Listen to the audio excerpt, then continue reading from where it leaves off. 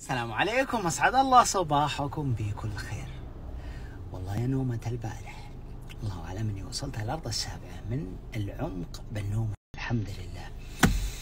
أنا عندي شيئين حاجتين. إذا أكلتهم يجيني عمق بالنوم غريب. عمق بالنوم غريب. واحد لحم الغنم ولا هو بأي لحم غنم لا لحم الغنم الحري. الحري بس. يعني لو أكل نعيمي نجدي ما يأثر فيني. لكن لو أكلت الحري يا الله شيء فظيع. اثنين التين.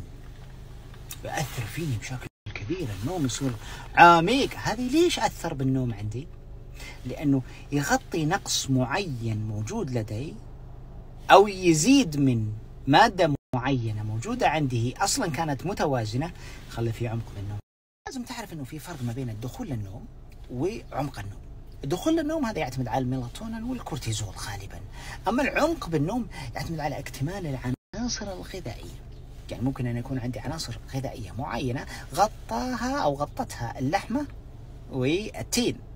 وممكن انت يكون عندك شيء مختلف يغطيها أكل آخر يغطيها أكل ثاني. فهمتوا علي؟ عشان كذا إذا نمت نومه عميقه من بعد أرق مستمر أو نوم سطحي ارجع وسجل وش انت اكلت البارح؟ مباشرة. ارجع وسجل وش اكلت البارح؟ يكون عندك حاجة انت اكلتها نادر تاكلها؟ لأنه بعض الناس ما يستمع للغه الجسد. والله أنا البارح نمت زين ويعتقد أنها جت بالصدفة. لا. كل حاجة لها سبب معين. الله يحفظك.